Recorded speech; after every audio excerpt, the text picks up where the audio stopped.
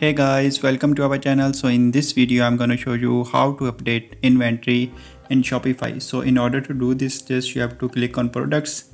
And now here you will find the inventory option. Just click here.